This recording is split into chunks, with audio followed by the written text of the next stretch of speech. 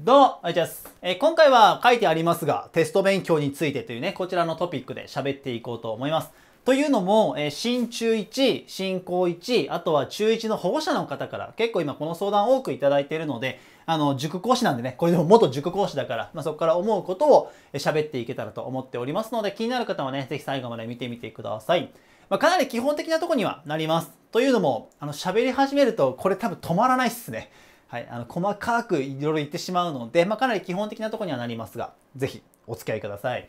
で、あと先輩方、あの再生してくださった先輩方、ちょっと協力してほしいことがあって、これの答えって、えっと、ベストアンサーないです。ハイチがあれを言ってたから絶対それでやらなきゃっていうわけではない。ですよ。いろんな意見があって当然のとこなので、ぜひ先輩方も、まあ今までね、いろんなテストを受けてきた方たちなので、こう経験談から思うことっていうのをちょっとコメント欄に書いていただけると、あの見ていただいたね、新中1、新高1の方は参考になるかと思いますので、ぜひよろしくお願いします。ではでは、サクッと終わらせよう。長く、あ、これテイク3なんですよ。はい。あとテイク2はですね、20分、25分か。喋りすぎたのでカットしました。参ります。はい、1番。いつから勉強するの？ってですね。で、これは、まあ、多くの先生が多分これを言うかなと思います。まあ、一般的にもこれを言われることが多いね。えー、2週間前と。ただ、えー、これは本音じゃないです。俺はね。あの、塾講師時代に生徒にこれ言うとすげえ嫌な顔されるっていう。私はね、3週間前ってよく言ってました。ただちょっと言い訳させてほしくて、基本的に2週間前でできるんだったらそれでいいんよ。いや、もっと言うと1週間前で足りるんだったら1週間前でもいいんです。いいんだけど、えー、基本的には足りないってなる子が多いので、うん、だからまあ2週間、もっと言うと3週間前って思ってる。特に前回のテストからもう頑張ってね、もう前回やらかしてしまったから、もう今回は前回より生まれ変わった私になるんだみたいな。ぐらいに成績を上げたいと思う方はもうちょっとこれでやってみ。ちょっと文句を言わずにこれでやってくれ。3週間前で。で、ただ、えっ、ー、と、生徒がね、なんで3週間前でえって言うかっていうと、まあ、2番にも関わってくるんだけどさ、何勉強するのって。今回定期テストね、中間テストと期末テストの話、あの、実力とか模試はちょっと関係なしになっちゃうんですが、何勉強するのって言われたら、あの、中学1年生になった方ね、ちょっとピンとこない方もまだいるかもしれないんですけど、中学ってテスト範囲っていうのが配られます。テスト範囲。今回のテストはここからここまでが出ますよ、みたいな。あの、小学校の時ってテストの回数が多いんですね。例えば算数でもここの勉強が1個終わったらここのテストやりますよ、みたいな感じなんですけど、中学ってテストの回数がすごく少ないです。1年間でももう数回しかない。テストが。細かいテストはね、先生ごとにやるかもしれないけど、大きな成績に入るテストは数回だけです。で、それを、例えば今回はこっからここまでっていうのが、ね、発表されるの。大体紙でプリントで配られるんだけど、例えばね、教科書と多分学校してのワークもあるんで、じゃあ今回は教科書 P2 から31まで、ここがテスト範囲ですよとか。で、ワークも、じゃあ P2 からじゃあ15とかにしようか。そこが範囲だから、この部分勉強してきなさい。こっからテストが出ますよっていう。まあ、あとはプリントだったりとか、先生ごとにはもっとプラスアルファでね、いろいろテスト範囲書いてくれることもあるんですが、基本的にここに書いてあることをやれば OK です。で、じゃあプリントがあればね、プリントもやってほしいんですけど、一番ね、一番メイン、ワークがあるんだったらもうワーク。ちょっと言い過ぎかもしれないけど、ワークを制することができれば、定期テストは基本的に制することができます。いい？じゃあ教科書いらないのかって言われるんだけど、違う違う違う違う。ワークを勉強するためには教科書が必要だからさ。いい？教科書に書いてあることを覚えるのはもちろん大事よ。大事なんだけど、まあ、ワークを頑張るためには教科書が必要だよね。だからまあセットです。あここを勉強してれば OK。まあ、プリントがあったら、プリントもワークとポジションは一緒なんで、教科書頑張ってプリントの勉強しようね、みたいな。でもそれだけないよ。もちろん塾行ってる方は塾の問題集やったりとか、本屋さんでね、問題集買ってくるのもいい。いいよ。もちろん大事。だけども、基本的にはここをやった方がいい。ここをやらずに、塾の問題集とか、えっ、ー、と、買ってきた参考書だけみたいのをやると、ちょっと伸びにくいと思う。定期テストに関しては。いいかな？なんでこれをやってください。で、ちょっと話戻すね。さっき、まあ、クレームがあったんですよ。これ3週間前というとクレームが来るんだ。これ生徒たちから。でなんでかっていうと、配られてないんだわ。テスト範囲が。大体2週間前なんよね。配られるのって。先生ごとにもよるけどさ。だから テスト前、あ、テスト範囲配られてないのに勉強できないしって言われるわけ。生徒から。はい、待て待て待てってなるのね。で、この考え方はちょっと覚えておいてほしいんで、ちょっとか、なんですよ、動画長くなるけど、ここは聞いて。例えば、今、えこの動画撮ってるのが今5月11に撮っております。で、じゃあどうしようかな。5月の29からテスト始まるとしようか。テストスタートね。5月29入ってるかな。大丈夫ね。だから2週間前で言うと14引くから5月15ここにまあ目安ね。テスト範囲が配ってくれる。だから配られてないよ。11だってテストどこやるか分かんないじゃんって言うんですけどえー、っと今日今日ねみんなが学校で受けてきた授業の内容は絶対に出るから。このテストに出るあのね、テスト、中学校のテストっていうのは、このテストが実施される、その直前ぐらいまでにやった勉強は基本的に全部出ます。全部出る。ただしね、ただし、じゃあ5月23とかにしようか。この辺で受けた授業の内容、ありますよね？5月23に。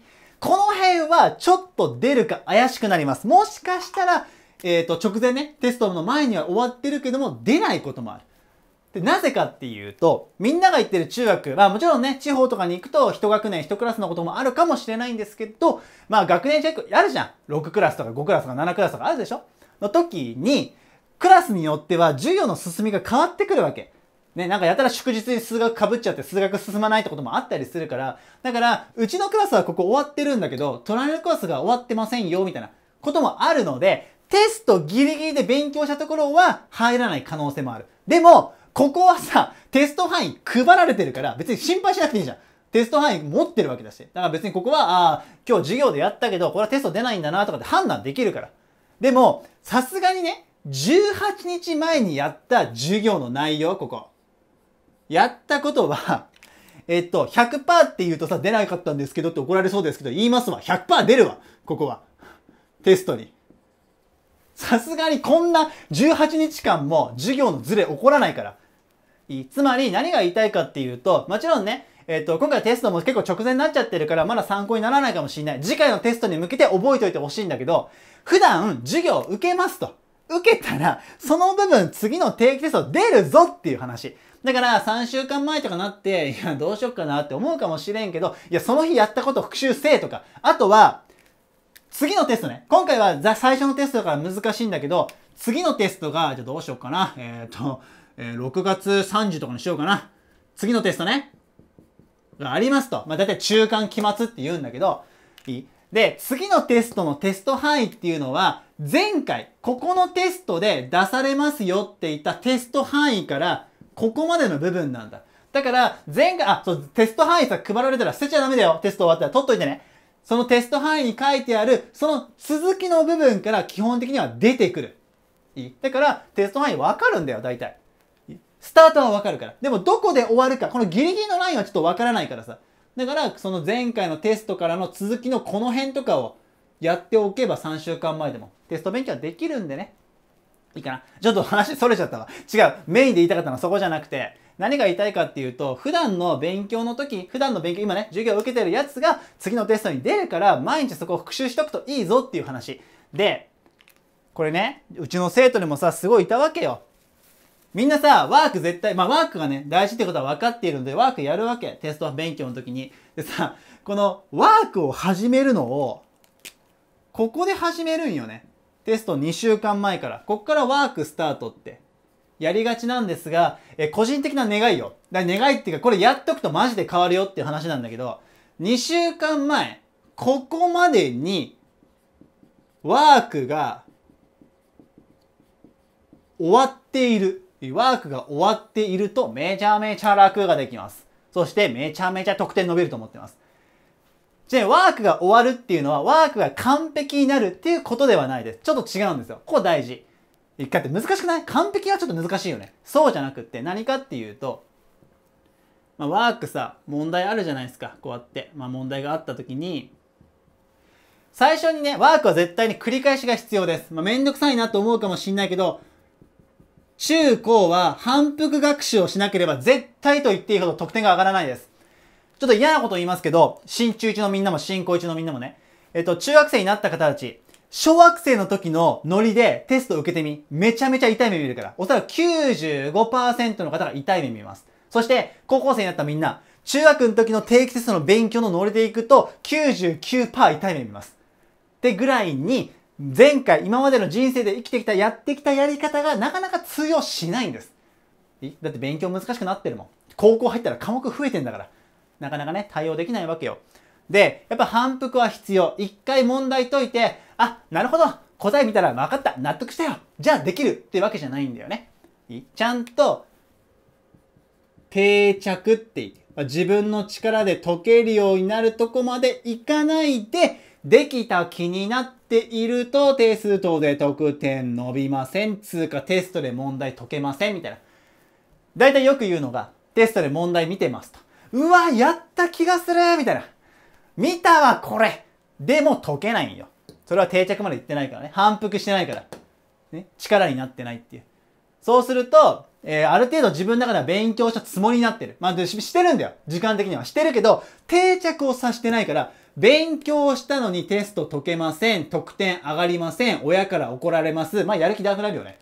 次頑張れないから、そうなると。そうなってほしくないんで、やっぱり反復してほしいと。で、話を戻すと、基本的にワークの問題はみんなが解いた時に楽勝な問題、みんなにとってね、楽勝な問題と、いや、ちょっと厳しいな、難しいなっていう問題が絶対にある。全部難しいにはならないから。で、やってみてさ、楽勝、楽勝、やっべえ、楽勝、やっべえってこうなっていくわけ。こういう感じでね。で、楽勝だった問題は2週間後とかテストの時に解いても楽勝よ、基本的に。楽勝なんだから。だから、この楽勝な問題を繰り返しやるのがめんどくさいわけ。ここをカットしていきたいの。つまり、やべえなーとか、反復が必要そうだなーと思う、ここの問題に力を注ぎたいのね。そのふるい分けが必要なの。で、それをやるには一回やんなきゃいけない、ワークを。だから、それを、例えば2週間前、テスト範囲が配られてから始めちゃうと間に合わないんだよね。なので、できれば普段ね、授業を受けた時に、授業を受けます、ちょっと復習しようって教科書パラパラパラって見るじゃん。あ、この今日この4ページやったなって。その4ページに対応するワークを毎日先にやっておくの。で、楽勝な問題と、ちょっと難しかったなっていう問題、ちょっと怪しいなっていう問題、復習が必要そうだなみたいなやつをチェックしとく。で、自分は丸はつけません。楽勝のやつは。えっと、怪しい問題だけにチェックをつけるんだけど、つけておけば、2週間前スタートした時に、もうチェックが分かってる。すっごい時短だから。時間短縮できるから。っていうのをやるといいです。これは、まあ、あと、今回ね、ちょっとテストを直前に見てくれてる方とかいると思うんで、ちょっと今は間に合わないかもしれんけど、まあでも、それでも2週間前からね、今からこの作業をやるっていう方は絶対印付けな。復習っていうか反復するものには。楽勝なものはもう無視でいいんだよ。次できっから。大丈夫だから。っていうのをぜひやってみてください。はい、ということでもう長くなってきて何分よ。あ、やべはい、行きます。じゃあ最後ね、やっちゃいけないこと。まあ、これはですね、いろいろあるんですが、まず、え2つ伝えて終わります。えー、生活リズムを変える。これ絶対やらないでください。一番わかりやすいのは徹夜です。徹夜。睡眠時間削るとかね。もちろん普段からね、睡眠時間めちゃくちゃ取ってるから、まあ1日、1時間2時間減らしても大丈夫だっていう方はいいです。いいんですけど、普段から6時間睡眠とか7時間睡眠、まあ大体ベストなね、睡眠を取ってる方が1時間2時間減らすっていうのは、えー、っとね、後々響きます。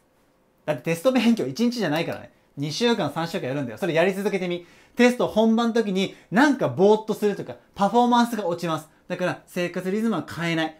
基本的には今の生活リズムで結果を出すんだと思ってやってください。これぜひ親御さんも覚えておいていただけると嬉しいです。で、もう一個です。もう一個は、で、これはですね、けあ、ごめんなさい。間違った。結構これを、特に親御さんはね、願う方多いと思うんですけど、あの、平均的に上げるっていう意識をちょっと抜いた方がいいです。強く持ちすぎない。っていうのは、さっきも言ったように科目が増えます。